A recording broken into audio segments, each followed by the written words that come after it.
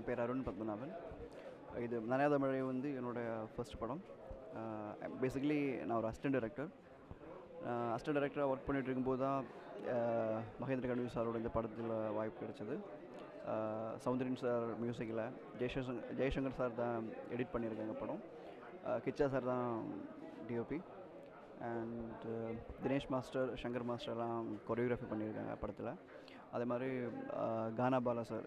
Gana Bala sir Gana Bala sir வந்து இந்த படத்தில் ஒரு சாங்கில் என் கூடவே டான்ஸ் பண்ணியிருக்காங்க. ரொம்ப சூப்பராக ஒரு பண்ணியிருக்காங்க. அதில் கொரியோகிராஃபி வந்து தினேஷ் மாஸ் தான் பண்ணியிருக்காங்க. பேசிக்கலி நனையாத மழை வந்து ஒரு ஒரு லவ் ஸ்டோரி ஒரு பியூட்டிஃபுல்லான லவ் ஸ்டோரி கண்டிப்பாக நீங்கள் எல்லோரும் வந்து தியேட்டரில் போய் இந்த படம் பார்க்கணும். Thank you thank you very much Raj TV நேர்களுக்கு வணக்கம். நான் சங்கர் பேசுகிறேன் இன்றைக்கி நாங்கள் நனையாத மலை படத்தோட ஆடியோ லான்ச்சுக்காக வந்திருக்கோம். ஸோ இந்த படத்தில் மகேந்திர கணபதி சார் தான் டைரக்ஷன் பண்ணியிருக்காரு. So Abhiyan Kavi production produce uh, பண்ணியிருக்காங்க. Uh, ஹீரோ ஹீரோயின் வந்து நியூ ஃபேஸ் uh, இந்த படத்தில் வந்து எனக்கு ஒரு நல்ல லீட் ரோல் அதாவது அம்பா அம்பாசமுத்திர அம்பானிக்கு அப்புறம் ஒரு நல்ல லீ லீட் ரோல் தான் இது. ஸோ படம் ஃபுல்லாக த்ரோட்டாக வர மாதிரி ஒரு character and sentiment and comedy கலந்த ஒரு கேரக்டர் ஸோ எல்லாருமே படத்தை வந்து தேட்டரில் போய் பாருங்கள் எங்கள் எல்லாருக்கும் சப்போர்ட் பண்ணுங்கள் தேங்க்யூ தேங்க்ஸ் வணக்கம். நான் கானா பாலா பேசுகிறேன் கபி அண்ட் அபி சித்திர கண்களோட திரைப்படம் நனையாத மழையே. இயக்குனர் மற்றும் தயாரிப்பாளர் என்னுடைய அண்ணன் மகேந்திர கணபதி மகேந்திர கணபதி அவருடைய இயக்கத்திலும் அவருடைய தயாரிப்பிலும் இசையமைப்பாளர் அண்ணன் சௌந்தரியன் அண்ணன் அவருடைய இசையில் வந்து கவிஞர் சீர்காழி சிற்பி அவர் எழுதிய பாடல் நான் பாடியிருக்கிறேன். தினேஷ் மாஸ்டர் வந்து சூப்பரான கோரியோகிராஃப் பண்ணியிருக்காரு. இந்த பாடலில் நானே விஷுவலாக வந்து வரேன். மேலும் இந்த பாடல் மட்டுமல்லாமல் கவிஞர் அறிவுமதி அண்ணன் எழுதிய பாடல்களும் நா முத்துக்குமார் அண்ணன் எழுதிய பாடல்களும் சமையிட்டு இந்த படத்தில் பாடல் உண்டான இசைகளும் பின்னணி இசையும் வந்து சூப்பராக இருக்கும். ஏன்னா சௌந்தரியன் சாருடைய இசை இது. மீண்டும் வந்து மக்கள் மத்தியில் ஒரு புத்துணர்ச்சி ஏற்படுத்தக்கூடிய இசை இது. இந்த படத்தில் நான் பாடின பாட்டு வந்து மனசு சரியில்லை மச்சான் மனசு சரியில்லை. தாங்க முடியலை என்னால் தூங்க முடியலை. போத்தி படுத்து பார்க்குறேன் ஊற்றி படுத்து பார்க்குறேன் நேற்று நடந்த காயந்தான் இன்னும் ஆறலை. நன்றி. மழை பெய்து கொண்டிருக்கிறது. இங்கே பார்த்தால் பாடலும் மழை என்ற அளவில் நனையாத மழையே என்ற ஒரு தலைப்பில் இங்கே நனைந்து கொண்டிருக்கிறது. பாடல்கள் அனைத்தும் அற்புதமாக செய்து கொடுத்திருக்கின்றேன். காதல் என்றால் எனக்கு அந்த பாடல்களை தருவது எனக்கு ஒரு விதமான ஒரு மயக்கம் உண்டு. அந்த மயக்கத்தை ஒவ்வொரு பாட்டிலும் கேட்கும் வண்ணம் செய்திருக்கிறேன். இந்த படமானது முழுக்க முழுக்க ஒரு காதல் கதை என்பதால் பாடல்களும் காதல் சாயத்தோடையே இருக்கும். இந்த படத்தின் இயக்குனர் மகேந்திர கணபதி அவர்கள் மிக அருமையாக புதியவர் என்று பார்க்க முடியாது. அந்த அளவிற்கு தெளிமையாக தெளிவாக படத்தை இயக்க இயக்கியிருக்கின்றார். இந்த படமானது மிகப்பெரிய வெற்றியை என்றெடுக்கும் எனது வாழ்த்துக்கள். நன்றி. என்னோடய பேர் மகேந்திர கணபதிங்க. நனையாத மலையா படத்தோட இயக்குனர். அதே நேரத்தில் தயாரிப்பாளரும் கூட. நாலு பேர்த்தில் நானும் ஒருத்தன். இந்த நனையாத மலையே படம். ஒரு கவித்துவமாக இருக்குது. ஒரு கவித்துவமான படம். அதாவது என்னை பொறுத்த மட்டும் இதோட சின்ன கான்செப்ட் என்னங்கன்னா மலைத்துளி வந்து மேலேருந்து கீழே வெர்டிக்கலாக வர்றப்போ அது ஒன்று ஒரு மலைத்துளியோட இன்னொரு மலைத்துளியோட அது கண்டிப்பாக நனையாது. அது நனைஞ்சதுன்னா ஃபால்ஸாவோ அல்லது ஃபால்ஸாக வந்துடும் உண்மையாக அது ஃபால்ஸாக வந்துடும் அது நனையாது. அது எப்போ இன்னொரு மலைத்துளி கூட நனையுதுன்னா அது வெர்டிக்கல் பாயிண்ட் எப்போ முடியுதோ ஹரிஜாண்டில் எங்கே எர்த்தில் டச் ஆகி ஹரிஜாண்டில் ஃப்ளாஷ் ஆகுதோ அப்போ தான் அது இன்னொரு மலைத்துளியில் டச் ஆகுது. ஸோ இந்த மலைத்துளி என்னோடய படத்தோட மலைத்துளி நனைஞ்சுதா இல்லையா? அதுதான் நனையாத மலையே. அப்போ அந்த மலை நலையில் கரிஜாண்டலாக விழுந்து நலையில் அந்த மலைத்துளி என்ன ஆச்சு?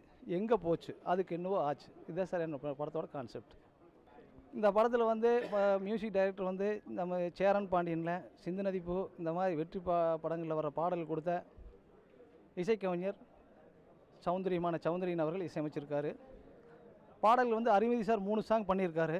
கண்டிப்பாக மூணு சாங்கும் நீங்கள் நினைவில் உங்கள்கிட்ட என்றைக்குமே மாறாது. அந்த அளவுக்கு பாடல் இருக்குது நான் முத்துக்குமார் சார் ஒரு சாங் பண்ணியிருக்காரு அது அருமையாக இருக்குது அதில் கூட பார்த்தீங்கன்னா மனசு சரியில்லை மனசு சரியில்லைன்னு ஒரு சாங்கு ஒரு புது கவிஞரை இந்த படத்தில் நான் ஒரு அறிமுகப்படுத்தியிருக்கேன். இது வந்து தினேஷ் மாஸ்டர் பண்ணியிருக்காரு நடனம் பண்ணியிருக்காரு அதே நேரத்தில் பார்த்தீங்கன்னா இதில் வந்து சென்ட்ரல் ஃபிகராக வந்து கானா பாலானம் பண்ணியிருக்காரு அவரே பாடி அவரே பண்ணியிருக்காரு இது மட்டும் இல்லை அவர் சினிமா வரலாற்றிலேயே தமிழ் சினிமா வரலாற்றிலேயே அவர் முதல் முதலாக இதில் நடிச்சிருக்கார். சீன் பண்ணியிருக்கார். நீங்கள் படத்தை பார்த்துட்டு நீங்களே சொல்லுவீங்க. என்னோடய முயற்சி கண்டிப்பாக இது நல்லா இருக்கும். நீங்களே பாராட்டுவீங்க.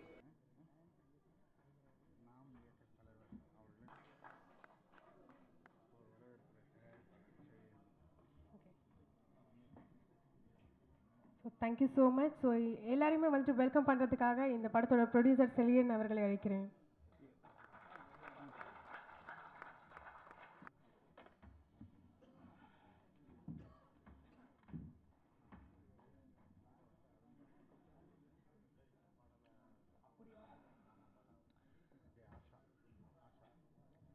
இந்த படத்தில் வந்துட்டு நடிச்சிருக்கிற நிறைய பேரை கூப்பிடணும்னு ஆசை. ஸோ அடுத்த ஆக்ட்ரஸ் ஆஷா அவர்களையும் மேடை கழிக்கிறேன்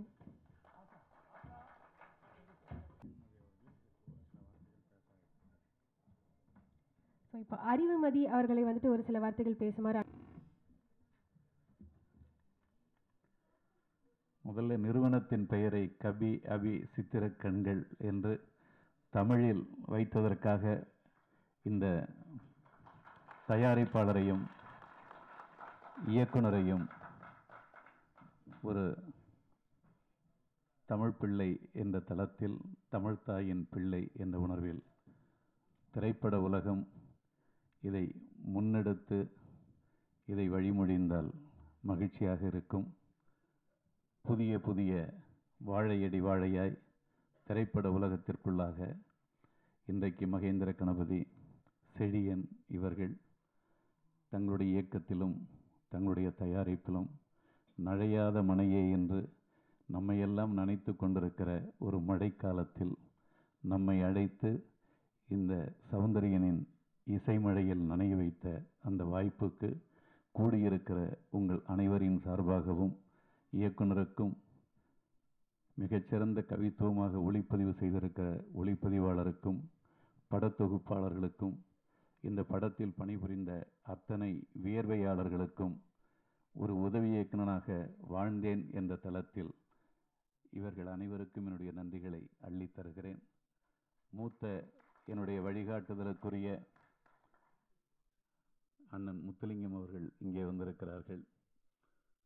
அவருடைய நல்லாசிகளும் ஆர். சுந்தரராஜன் என்கின்ற ஒரு புதினமாக படங்களை திரைப்படத்துறையில் வெள்ளி விழாவை அள்ளி அள்ளி தந்த அவருடைய வாழ்த்துக்கள் எல்லாம் நமக்கு கிடைக்க இருக்கின்றன இந்த தளத்தில் இன்றைக்கு இந்த புதிய இந்த விளைச்சலுக்கு வாழ்த்துரை வழங்க வந்திருக்கின்ற உங்கள் அனைவரின் சார்பாகவும் இந்த படக்குழுவினருக்கு என்னுடைய நன்றிகளை அள்ளித் தருகிறேன். சௌந்தரியன் என்கின்ற அந்த மருத நிலத்துக்காரன் தன்னுடைய ஒவ்வொரு மெட்டிலும் தன்னுடைய ஆளுமையை அந்த இசைஞானி இளையராஜா போகிற ஊருக்கெல்லாம் நானும் வருவேன் என்று சொல்லுகிற அளவிற்கு தன்னுடைய மெட்டுக்களை அவ்வளவு அழகாக அள்ளி தந்திருக்கிற அந்த அழகு ஒவ்வொரு மெட்டிலும் பார்த்திருக்கிறேன். அதில் அவர் பயன்படுத்துகிற அந்த இசைக்கருவியினுடைய ஆளுமைகள் நம்மை எங்கும் உறுத்தாமல் நம்மை ஒரு வழவழப்பான பாறையில் வழிந்தோடுகிற அந்த அருவியைப் போலவே நம்மை நனைய வைக்கின்ற இசைக்கு ஒரு மிகச்சிறந்த எடுத்துக்காட்டாக இசை உலகில் எம் சௌந்தரியனும் இருக்கிறார் என்பது நமக்கு மிகப்பெரிய மகிழ்ச்சியாக இருக்கிறது. அவருக்கு மேலும் மேலும் சிறந்த வாய்ப்புகள் குவிய வாழ்த்துக்கள். அதைப் போலவே இந்த படத்தை எடுக்கிற அந்த தருணங்களில் பல இயற்கையான கவித்துவமான இடங்களுக்கு அந்த ஒளிப்பதிவாளரை அழைத்து போய் என்னுடைய மகேந்திரன் என்கின்ற அந்த உயிருக்கினிய இளவல் தன்னுடைய கவித்துவ ஆளுமைகளால் காட்சிப்படுத்த நினைத்த அந்த அழகுகளுக்கும் என் நன்றியை சொல்லிக் கொள்கிறேன். செந்தமிழ் தமிழ் திரைப்பட உலகத்தில் வாழ்ந்தது. அதை போலவே ஆங்கிலம் கலந்த தமிழும் உள்ளே வாழ்கிறது. நெல்லை தமிழ் வாழ்கிறது. தஞ்சை தமிழ் வாழ்ந்தது. கோவை தமிழ் வாழ்ந்தது. இப்போதுதான் மெல்ல மெல்ல மெட்ராஸ் என்கின்ற சென்னை தமிழ் கானா பாலா உள்ளிட்ட அந்த அடித்தள மக்களின் வலிகளை சுமந்த அந்த குரலுக்கும் திரைப்பட உலகம் கைபிடித்து விரல் நீட்டி அழைத்து வருகிறது என்பது அது தமிழுக்கு கிடைத்த மரியாதையாகத்தான் நான் நினைக்கிறேன். செந்தமிழுக்கு எந்த அளவுக்கு மரியாதை தருகிறோமோ அதைப் போலவே கானா பாடல்களுக்கும் மரியாதை தர வேண்டிய கடமை நமக்கு இருக்கிறது என்பதை சமூக ஆய்வாளன் என்ற தளத்தில் நான் அதனையும் உள்வாங்கி கானா பாலாவிற்கும் என் கைக்குல்களை தந்து இந்த படம் மிகச்சிறந்த வெற்றியடைய வாழ்த்தி விடைபெறுகிறேன். நன்றி வணக்கம்.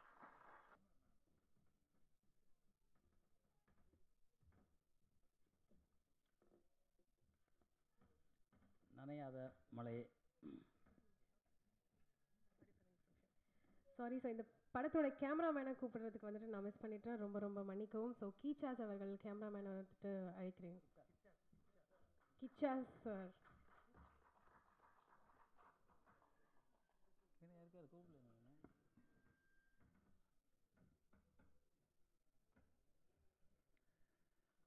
இந்த நனையாத மலை வந்து நம்ம மகேந்திரன் அவர்கள் வந்து டைரக்ட் பண்ணியிருக்காங்க எனக்கு இன்விடேஷன் வைக்கும்போது கேட்டேன் என்னங்க செலவாச்சு பட்ஜெட்லாம் கேட்டேன்.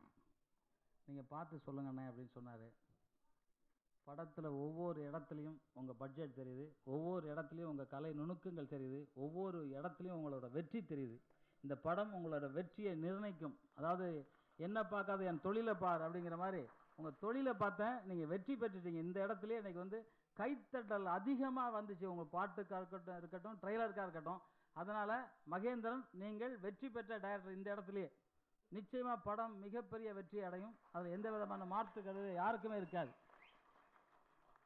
அதே மாதிரி இந்த தயாரிப்பாளர் வந்து இன்னைக்கு இருக்க சூழ்நிலையில் இந்த அளவு செலவு பண்ணி மிக பிரம்மாண்டமாக ஒரு படம் எடுக்கணும்னு வந்த அவரை இந்த அரங்கமே கை தட்டலாம் ஏன்னா அவருக்கு அதுதான் வந்து ஒரு மிகப்பெரிய ஒரு டானிக்காக இருக்கும். இந்த டானிக் அவருக்கு கண்டிப்பாக தேவை. இன்னைக்கு தமிழ் படத்தை காப்பாற்ற வேண்டுமென்றால் இவர் மாதிரி ஒரு தயாரிப்பாளர் வந்தே தேரணும். ஏன்னா இன்னைக்கு வந்து பெரிய பெரிய படங்கள் பெரிய பெரிய நிறுவனங்கள் படம் எடுக்கிறத விட்டுட்டாங்க. இன்னைக்கு புதுசாக தான் வந்து எடுத்துக்கிட்டு இருக்காங்க. அவங்களுக்கு நம்ம வந்து ஒரு ஊக்கத்தை தரணும். அதே மாதிரி இந்த திருட்டு சீடியை ஒழிக்கிறதுக்கு இந்த திரைத்துறை துறை அத்தனையும் ஒத்து வரணும். ஒத்து வந்தால் தான் தமிழ் திரைப்படம் நிச்சயமாக வாழும். இன்னைக்கு கர்நாடகாவில் திருட்டு சீடி கிடையாது ஆந்திராவில் திருட்டு சீடி கிடையாது கேரளாவில் த திருட்டு சீடி கிடையாது. சினிமாவிலே இருக்கிற நம்ம தமிழகம் இருக்கு வந்து திருட்டு செடி முக்கியமாக இருக்குது. இதை வந்து ஒவ்வொருத்தரும் இந்த இடத்துல வந்த ஒரு பத்தே பத்து பேர் இன்னையிலேருந்து திருட்டு செடி நாங்கள் பார்க்க மாட்டோம் அப்படின்னு ஒரு முடிவு பண்ணுங்கள் அந்த ஒரு பத்து பேர் இருந்தால் போதும். மிச்சம் எல்லாம் திருந்திக்கிட்டே வருவாங்க. நாட்டை நம்ம தான் திருத்தணும். நம்ம திருட்டு கொடுத்துடக்கூடாது. இன்றைக்கி ஒரு ஐயா அவர்கள்ட்ட பேசியிருக்கோம் சொன்னேன். வந்து என்னங்க விவசாயம்னு சொன்னோன்னே நான் சொன்னேன். என்னங்க விவசாயம் எல்லாம் நிலம் போட்டு விற்கிறாங்களா பார்க்கக்கூடாதானே? நம்ம என்னங்க செய்கிறது இன்னொரு பத்து வருஷம் இருபது வருஷம் கழிச்சா ஒரு கிலோ அரிசி ஆயிரம் ரூபாய்க்கு விற்கும். வாங்கணும். வாங்கலைன்னா பசியோடு இருக்கணும். ஏன்னா பிளாட் எல்லாமே இன்றைக்கி வந்து இடத்த எல்லாம் பிளாட் போட்டுட்ருக்காங்க அப்படின்னு நான் அவரை பேசிக்கிட்டு இருந்தோம். இந்த சிந்தனை எல்லா மக்களுக்கும் வேண்டும். நமது நாடு அப்படிங்கிறது ஒரு எண்ணம் எல்லாருக்கும் இருந்தால் தான் நம்ம ஜெயிக்க முடியும். அதே மாதிரி இந்த படத்தில் ஹீரோ மிக அற்புதமாக பண்ணியிருந்தார். அவர் வந்து மிக அற்புதமாக பண்ணியிருந்தார். அவர் வந்து நிச்சயமாக ஒரு பெரிய இடத்த இந்த ஹீரோ பிடிப்பார் அப்படிங்கிறது இந்த நேரத்தில் நான் சொல்லிக்கிறேன். அந்த ஹீரோயினி வந்து ரொம்ப அழகாக முகபாவங்கள் வந்து ரொம்ப அழகாக இருந்துச்சு. அவங்க வந்திருக்காங்களா வரலையா தெரில ஆனால் மிக அற்புதமாக இருந்துச்சு. அதே மாதிரி இரண்டாவது ஹீரோயினி வந்திருக்கவங்களும் ரொம்ப நல்லா நடிச்சிருக்காங்க. அதாவது எல்லாமே மகேந்திரன் செலெக்ஷன் பண்ணியிருக்காரு. யாரையுமே தப்பாக பண்ணலை. அப்படிங்கிறதுக்கு ஒரு எழுத்துக்காட்டு. இந்த படத்தில் ஸ்பீடு மோகனுங்கிற ஃபைட் மாஸ்டர் சகோதரர் எடுத்திருக்காங்க. அவரும் ரொம்ப அற்புதமாக பண்ணியிருக்காரு. ஏன்னா பார்க்கும்போது எல்லாமே நல்லா பண்ணியிருக்காங்க. ஒருத்தரை கூட டைரக்டர் தப்பாக செலக்ட் பண்ணல. எல்லாமே நல்லா பண்ணியிருக்காரு. எடிட்டர் ஜெயசங்கர். ஒவ்வொரு இடத்துலையும் அவரோட ஒவ்வொரு அவர் எடிட்டிங் தெரியுது. ஜெயசங்கர் நான் அந்த இதை பார்த்தவொடனே சொன்னேன் ஜெயசங்கர் எடிட் பண்ணாலே படம் பெருசாக விறுவிறுப்பாக இருக்கோன்னே ஒவ்வொரு சீன்லையும் அவர் அவ்வளோ அற்புதமாக பண்ணியிருக்காரு. அந்த அன்பு சகோதரருக்கு எனது கைத்தட்டலையும் உங்களது கைத்தட்டலையும் இது பண்ணுறேன் ஜெயசங்கர் சார் எங்கே இருக்காரு? அப்படின்னு தெரில வந்திருந்தார். நீங்களாம் முன்னாடி வாங்க சார். அதே மாதிரி இதில் வந்து மிக ஆர். சுந்தராசன் சார் டைரக்டர் வந்திருக்காங்க. வெள்ளி விழா டைரக்டர் அப்படின்னா அவர் படம் தான் தொடர்ந்து வெள்ளி விழா. அந்த மாதிரி ஒரு மிகப்பெரிய திறமைசாலி அவரும் இந்த உங்களை வாழ்த்த வந்திருக்காரு. நிச்சயமாக அவ்வளோ பெரிய ஆள்லாம் வாழ்த்தும் போது இந்த படம் நிச்சயமாக வெற்றி படம் ஐயா. மேடையில் அமர்ந்திருக்கும் அனைவருக்கும் வணக்கம். பத்திரிகை நண்பர்கள் அவங்க எனக்கு ரொம்ப க்ளோஸ் பத்திரிகைக்காரங்களாம் என்னை பற்றி எப்போதுமே எழுத மாட்டாங்க. டைரக்டரோ ஸ்டண்ட் மாஸ்டரோ என் ஆஃபீஸ்க்கு வந்து என்னை இன்வைட் பண்ண வந்தாங்க. நான் ரொம்ப நல்லவர் நினச்சேன் டைரக்டர் அவர் எவ்வளோ கட்டவர் ஸ்க்ரீனில் பார்த்தபோது தான் தெரிஞ்சுது. புரியலையா? அது எப்படி சார் கதாநாயகத்தை பாறை மேலே ஆட விட்டீங்க? எவ்வளோ வேதனை தெரியுமா? தரையில் ஆடுறதே கஷ்டம் பாறையில் ஆட விட்டுருக்காரு. அடுத்தது எல்லாரையும் குடிக்க வச்சு பாடுறவர் காலமாலா அவரை குடிக்க வச்சுட்டார் என்னப்பா கரெக்டா ஸோ அதே மாதிரி சில அதே மாதிரி ஒளிப்பதிவாளர். நான் பிகினிங்லேருந்து நான் பார்த்தது அதுதான். அவர் மேடையில் ஏறி அப்படி தான் ஃபஸ்ட் டைம் பார்க்குறேன். அண்ணே உங்களை இப்போ தான் ஃபஸ்ட் டைம் பார்க்குறேன். எப்படி அந்த மலை மேலெல்லாம் கேமரா ஹேண்டில் பண்ணீங்க? நான் ரியலி சி பிகாஸ் என்னோடய படம் கழுகு எடுக்கிறப்ப நான் அவ்வளோ கஷ்டப்பட்டேன். ஜிபி ஜிபிஸ் பண்ணீங்களா? எப்படி பண்ணீங்க? ஒண்டர்ஃபுல் ஒண்டர்ஃபுல் அந்த பாறையிலெல்லாம் ஜிபி ஜிபி அதுதான் கேட்டேன் நான். யூஸ் பண்ணுறது அவ்வளோ ஈஸி இல்லை. அதே மாதிரி நிறைய அட்டைகள்லாம் இருக்கும் அந்த இடத்துலலாம். நல்லா தப்பிச்சுட்டு நீங்கள் பகலில் எடுத்திருக்கீங்கன்னு நினைக்கிறேன். இரவுலாம் எடுத்தால் ரொம்ப அட்டைகள் அதெல்லாம் பெரிய டிஸ்டன்ஸு ஒழிப்பது வந்து மேக்ஸிமம் போச்சுன்னா அஞ்சு ஆங்கிள் தான் எடுக்க முடியும். என்ன சார் டோட்டலாக டாப் பாட்டம் சைடு கீழே பட் அன்றைக்கி இதில் கண்டென்ட்டோடு எடுத்திருக்கீங்க சிக்ஸ்த் சிக்ஸ்த் டைமென்ஷன் ஆமாம் ரொம்ப அழகாக இருந்தது சிக்ஸ்த் டைமென்ஷன் கொண்டு வந்திருக்கீங்க கேமராவில் ஐ ரியலி லைக் இட் அப்புறம்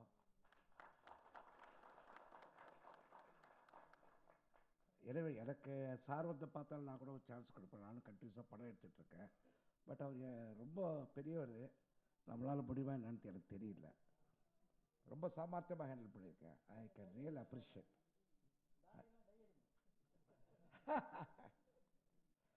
so director ரொம்ப கோவம்னா நீங்கள் வேறு மாதிரி எடுத்துக்காதீங்க. இப்படியெல்லாம் பண்ணி வச்சிட்டீங்க. ரெண்டு ஹீரோயின் சொன்னாங்க ஒரு ஹீரோயின் தான் வந்திருக்காங்க போல் இருக்கு. அதான் அது வந்து கரெக்டாக கண்டுபிடிக்க முடியல. ரெண்டு பேரும் ஒரு ட்வின்ஸ் மாதிரி இருந்தாங்க. இவர் தாடி எடுத்துட்ட பிறகு அழகு அழகாக இருக்கார் ஹீரோ சார் கொஞ்சம் காட்டுங்க. அவர் பாருங்க சிரிக்கிறப்போ சிறிய வயது மோகன்லாலை ஞாபகப்படுத்துறாரு. கரெக்டாங்க ஆ? ஆ. அது இப்போ நல்லா இருக்கீங்க. தாடி வைக்காதீங்க கண்டிப்பாக ஏன்னா அப்புறம் மோகன்லால் இமிட்டேட் பண்ணுவீங்க.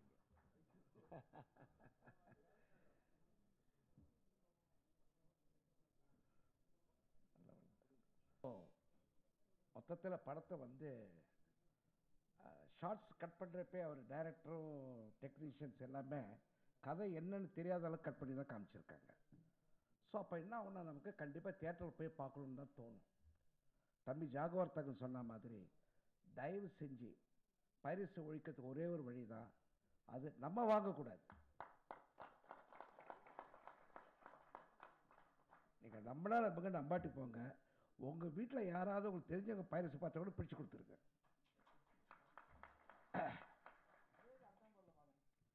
அதான் அது அது ரொம்ப ரொம்ப முக்கியம். ப- நம்ம வாங்கக்கூடாது. அதான் ஒரு படங்கள் வாங்கணும் அப்படின்னு நீங்கள் சிடி வாங்கணும் டிவிடி வாங்கணும்னு போனீங்கன்னா பதினஞ்சு வருஷத்துக்கு முன்னாடி உள்ள படத்தை மட்டும் வாங்குங்க. அது மாதிரி ஒரு முடிவு எடுங்க.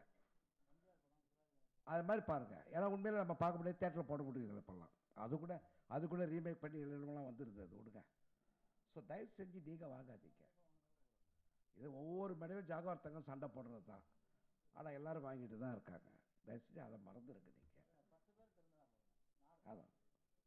ஒருத்தர் எதுக்கு பத்து ரொம்ப தைரியக்காரர். எனக்கு நல்லா ஞாபகம் இருக்கு. இவர் வந்து அவ்வளோ பெரிய மலை உச்சிக்கல்ல கேமராமேன்களை அனுப்பிச்சிருக்காருன்னா ஏதோ ஒரு சின்ன ஆஸ் சின்ன ஆபத்து ஆயிருந்தா கூட அவர் போட்டுருவாங்க.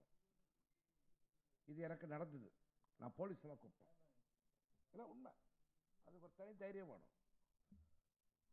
ஒரு ஒரு இரநூத்தி எழுபது அடி மேலே கழுகு படத்தில் வந்து கேமரா எடுத்துக்கிட்டு போயிட்டாங்க.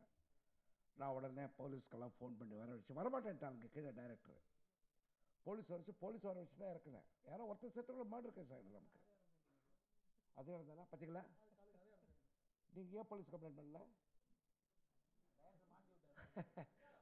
ரொம்ப ஆபத்தான இடத்துலலாம் போய் எடுத்திருக்கீங்க சார் கேமராமேன் உங்களை திரும்பி பாராட்டுறேன்.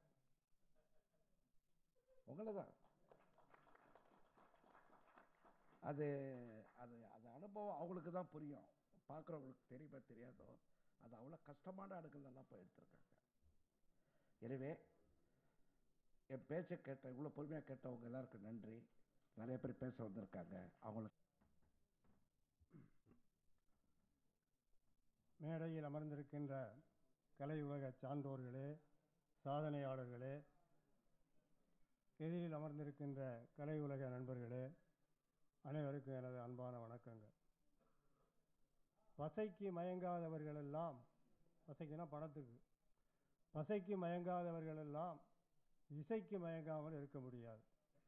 இசையில் பல வகை உண்டு என்றாலும் படித்தவன் படிக்காதவன் அவன் அனைவரையும் தன் பக்கம் ஈர்க்கக்கூடிய இசையாக இருப்பது இந்த திரை இசைதான்.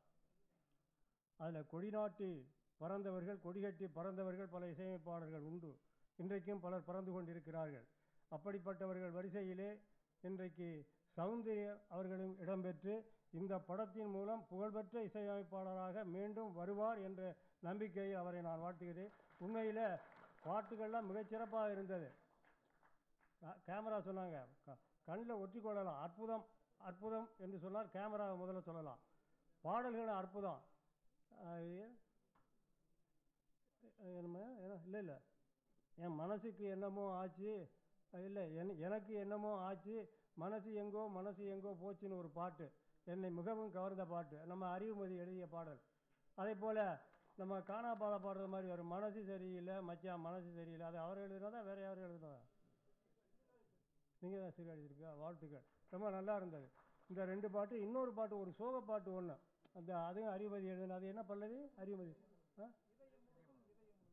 இதயம் பொழுது இதயம் அது இந்த மூன்று பாடல்கள் எனக்கு பிடித்த ரொம்ப பிடித்த பாடல்கள். இந்த கடைசியில் வந்து கண்கள் தாளம் போடுது அதுவும் நல்லா தான் இருந்தது. இருந்தாலும் அந்த மூன்று பாடல் எனக்கு ரொம்ப பிடித்த பாடல். இசைக்கவி நம்ம சௌந்தரியனுக்கு இசைக்கவி என்ற ஒரு பெயர் உண்டு. அவரே நல்ல பாடலாசிரியர் கவிஞர். ஆனால் இசையை அவர் சிந்து பூ படத்துலேயும் அவர் தான் பாட்டு. பாடல்களுக்காக அந்த படம் ஓட்டினது. அப்படி இருந்தும். இசையை தொழிலாக கொண்ட பிறகு மற்ற பாடலாசிரியர்களுக்கும் வாய்ப்பு கொடுக்க வேண்டும் என்பதற்காக அறிவுமதி இவர்களெல்லாம் எழுத வைத்திருக்கிறார்கள். அதே போல் எனக்கும் சில படங்களை எழுத வச்சாரு அந்த படம் இந்த மாதிரி வரும்னு சொல்கிறேன் வருதா வர தெரியாது. அதே போல் அந்த கால ரா எஸ் ஏ ராஜ்குமார் அவரும் நல்ல சிறந்த பாடலாசிரியர். இசையை தொழிலாக கொண்ட பிறகு மற்ற பாடலாசிரியருக்கு வாய்ப்பு கொடுத்தார். கொடுக்க கொடுக்கக்கூடிய கொடுத்தார் கொடுத்து கொண்டு இருக்கிறார். அதே போல் அந்த இயக்குனர் கே எஸ் கோபாலகிருஷ்ணன் எல்லாருக்கும் தெரியும். அவர் ஆரம்பத்தில் பாடலாசிரியர் தான். உடுமலை நாராயணவிடம் உதவியாளராக இருந்தார். அப்புறம் சி டைரக்டர் ஸ்ரீதரிடம் உதவியாளராக போனார். அவர் கதைவசனம் எழுதின முதல் படத்தில் கூட அவர் பாட்டு எழுதினார். அதன் பிறகு இயக்குவ இயக்குவதையே தொழிலாக கொண்ட பிறகு அந்த பாட்டு எழுதுவதை எழுதுவதை தொழிலாக கொண்டவர்களுக்கு மட்டும்தான் அந்த வாய்ப்பை வழங்கினார். அப்படி வாய்ப்பு வழங்கப்பட்ட காரணத்தால் தான் அவர் முதல் முதல் இயக்கிய கற்பகம் படத்திற்கு கவிஞர் வாலி எல்லா பாடல்களையும் எழுதினார். அவர் தான் வாலி முதன் முதல் ஒரு படத்தின் எல்லா பாடல்களையும் எழுதினார் என்றால் கற்பகம் படம் தான் கோபாலகிருஷ்ணன் கொடுத்தது. அப்படிப்பட்ட நல்ல உள்ளம் படைத்தவர் நமது சௌந்தரியன் அவர்கள். அதேபோல் மே சுந்தரராஜன் அவர்லாம் வந்திருக்கிறார் ஜாக்குவார் தங்க அவர்லாம் சொன்னார். சுந்தரராஜன் கதை சொல்வதில் அற்புதமான ஒரு டைரக்டர் யாரிடத்திலும் உதவியாளராக சேராமலே வெற்றி பட இயக்குனராக ஆனவர் அவர். அவர் கதை சொல்லும்போது ரொம்ப அற்புதமாக இருக்கும். அந்த காலத்தில் தாதாமராசி அப்படி தான் சொல்லுவார். குதிரை போகிறதுனா குதிரை போகிறது மாதிரி சத்தம் கொடுத்துலாம் சொல்லுவார். அதற்கடுத்து டிஎன் பாலு நல்ல கதை சொல்லுவார். அப்புறம் பாலமுருகன் அன்னக்கிரி ஆர் செல்வராஜன் சொல்லுவாங்க. அதை போல் கதை சொல்லியே எல்லாத்தையும் அசத்திய வரவர் முதல் படம் பயணங்கள் முடிவதில்லை. அந்த அந்த அமைச்சர் இவர் நம்மது இல்லை கோயத்தம்பி படம் தான். அந்த அமைச்சர் நம்ம அ- அரங்கநாயகமும் குழந்தைவேலு என்கிட்ட கேட்டாங்க. படம் பார்த்துட்டு வந்தீங்களே அப்படின்ட்டு. என்னமோ இருக்குது ஒரு நாலு வாரம் போகும் அப்படின்னு. அது பார்த்தா நானூறு நாள் ஓடிச்சு. அந்த அளவுக்கு அதில் அவர் படத்தில் நான் ஒரு ரெண்டு பாட்டு எல்லா பாடல்களும் கிட்டு நான் ரெண்டு பாட்டு எழுதினேன். முதல்ல நான் எழுதின பாட்டு ராக தீபம் ஏற்றும் நேரம் புயல் மழையோன்னு ஒரு பாட்டு. அடுத்து இன்னொரு பாட்டு மணி ஓசை கேட்டு எழுந்து நெஞ்சில் ஆசை கோடி இருமிக்கிட்டே பாடுற மாதிரி பாட்டு. என்னையா லாஜிக்கலாக பாடுறேன் இருமுனா தேட்டரில் ரிக்கார்டிங்கில் நிறுத்திடுவாங்கல்ல? நல்லா பாடும்போது தானே பாடுவாங்க. அந்த லாஜிக்கு பார்க்காமலே எல்லாரும் அதை பாடும்போது அந்த பாட்டு வரும்போது இருமிக்கொண்டே பாடுற உணர்வு மாதிரி அந்த உணர்வு எங்களுக்கு இருந்ததுன்னு எல்லாரும் எழுதினாங்கன்னா அது அதுதான் இந்த டைரக்டருடைய வெற்றிக்கு காரணம். அற்புதமாக அந்த பாட்டை பிக்சரைஸ் பண்ணியிருந்தார். ரொம்ப அரும அருமையாக இருந்தது. அதே போல் இந்த படம் மகேந்திர கணபதி. உண்மையிலே இந்த படம் அவருக்கு வெற்றி படமாக அமைய வேண்டும் என்று மனதார நான் வாழ்த்துகிறேன். அற்புதமாக பாடல்களையெல்லாம் பார்க்கும்போது படத்தையும் அற்புதமாக செய்திருப்பார் செய்வார் என் செய்து எல்லாம் முடிஞ்சிச்சுல படம்? செய்திருப்பார் என்ற நம்பிக்கை இருக்கிறது. ஆகவே சௌந்தரியன் இசையமைத்து இந்த படம் பாடல்களும் பிரபலமாக ஆகி படமும் வெற்றி படமாக அமைவதற்கு என்னுடைய வாழ்த்துக்களை நான் தெரிவித்துக் கொள்கின்றேன். வாழ்க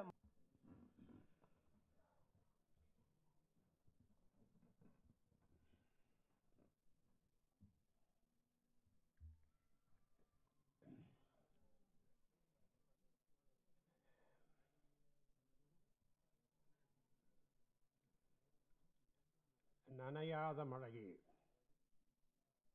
மழை நனைவதில் நம்மையும் நனைக்கும். நனையாத மழையே என்று எதை குறிப்பிடுகிறார்? அது உருவகமாக சொல்லி இருக்கிறார் என்று கருதுகிறேன். எனக்கு அதனுடைய பொருள் விளங்கவில்லை. நனைகின்ற மழையிலே நான் அங்கிருந்து மயிலாப்பூரிலிருந்து புறப்பட்டு வந்திருக்கிறேன். நனையாத மழைக்கு வந்திருக்கிறேன். மேடையிலே வீட்டிருக்கிற அருமை தோழர்களே. முன்னாலே அமர்ந்திருக்கிற ரசிக பெருமக்களே தாய்மார்களே தோழர்களே உங்கள் அனைவருக்கும் என்னுடைய தமிழ் நஞ்சு கனிந்த நன்றி அறிதலை நன்றி கலந்த வணக்கத்தை பணிவன்போடு தெரிவித்துக் கொள்கிறேன். நான் முத்துலிங்கத்தை காட்டிலும் கொஞ்சம் உயரமானவன் என்று நினைக்கிறேன். காரணம் மைக்கை கொஞ்சம் அதிகமாக உயர்த்தி வைக்க வேண்டியதாக இருக்கிறது. அந்த வகையிலே தான் அந்த வகையிலே தான் நான் உயரமானவன். எனக்கு முன்னாலே பேசிய கவிஞர் முத்துலிங்கம் அவர்கள் நம்முடைய சுந்தரராஜன் எங்கள் ஊருக்காரர் கோயம்புத்தூருக்கு ஒரு மாதத்திற்கு போகவில்லை என்றால் இவரோட ஒரு ஒரு மணி நேரம் உட்கார்ந்து பேசிக்கொண்டிருந்தால் ரெண்டு மாதம் கோயம்புத்தூரில் இருந்ததைப் போல அனுபவம் ஏற்படும். அப்படிப்பட்ட நண்பர். அவருடைய படத்திலே மணிகோசை கேட்டு எழுந்து என்ற பாடலை நான் அடிக்கடி விரும்பி கேட்பேன். அது எனக்கு மிகவும் பிடித்த பாட்டு அது மாத்திரம் அதில் அதை பாடிய விதம் இருக்கிறதே. பாலு எஸ்பி பாலசுப்ரமணியம் நடித்து கொண்டே பாடினார். அதான் முதலே மிக அற்புதம். எஸ்பி பாலசுப்ரமணியம் என்னுடைய பாட்டின் மூலமாக அறிமுகமானவர். ஆயிரம் நிலவே வா என்கிற பாட்டை நான் எழுதிய பாட்டைத்தான் அவர் முதலில் பாடினார். நான் திரையுலகத்திற்கு வந்து நாற்பத்தி எட்டு ஆண்டுகள் ஆகின்றன. எனக்கு இப்போது எழுபத்தொன்பது வயது முடிந்திருக்கிறது. நாற்பத்தி எட்டு ஆண்டுகளுக்கு முன்னாலே நான் யார் என்று நாட்டுக்கும் தெரியாது ஊருக்கும் தெரியாது. ஆனால் புரட்சி தலைவர் எம்ஜிஆர் மூலமாக குடியிருந்து கோயில் படத்தில் நான் யார் நான் யார் நீ யார் நானும் தெரிந்தவர் யார் யார் என்ற பாடலை எழுதினேன். What?